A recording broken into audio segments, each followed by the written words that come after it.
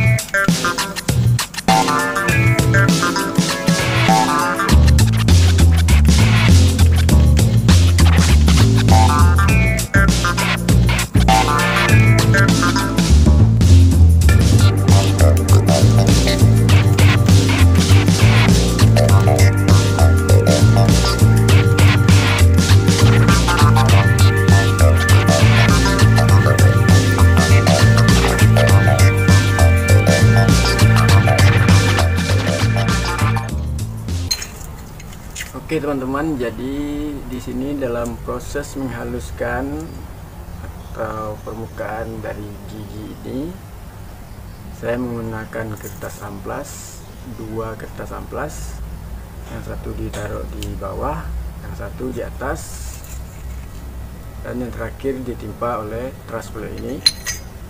Baru akan kita timpa dengan blok dan uh, rumah pompa ini dan sekaligus kita akan putar. Ide dan cara ini akan sangat memudahkan kita dalam proses pengerjaan karena di sini ada beban untuk penekanan yang otomatis hasil lebih rata, lebih uh, presisi. Dan untuk pengerjaan pun kita langsung menghasilkan atau menghaluskan dua permukaan gigi sekaligus atas bawah. Dan dua gigi sekaligus. Jadi cara ini sangat mudah. Oke teman-teman. Jadi ini dia caranya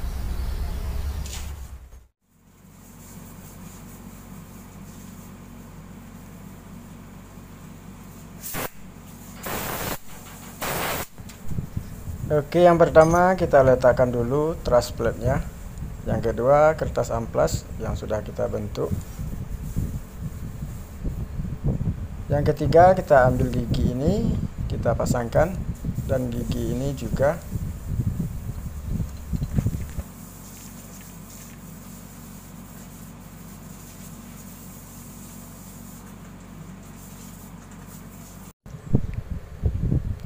selanjutnya kertas ampas lagi.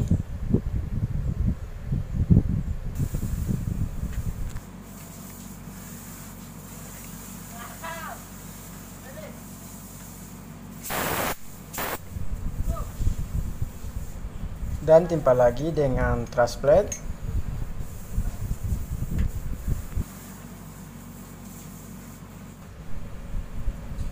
berikutnya kita timpa dengan rumah pompa ini dan ini ada as penghubung gigi antara pompa satu dengan pompa yang kedua.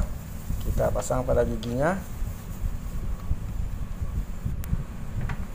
Sebelum kita memutar kita beri minyak terlebih dahulu.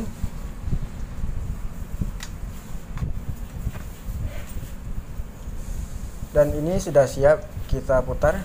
Bisa menggunakan tang stel seperti ini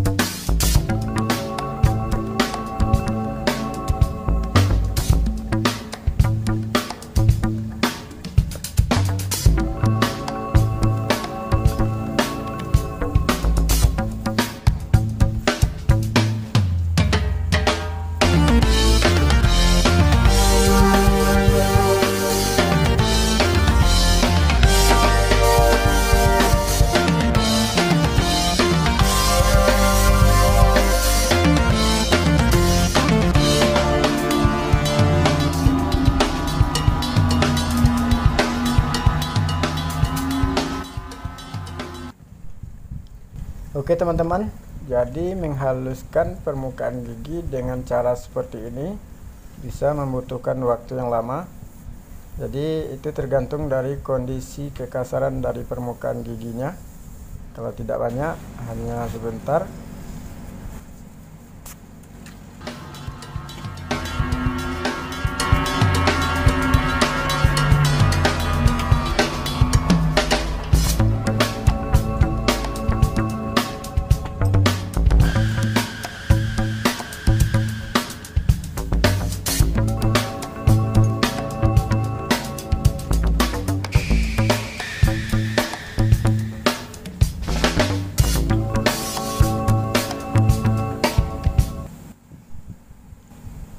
Oke teman-teman.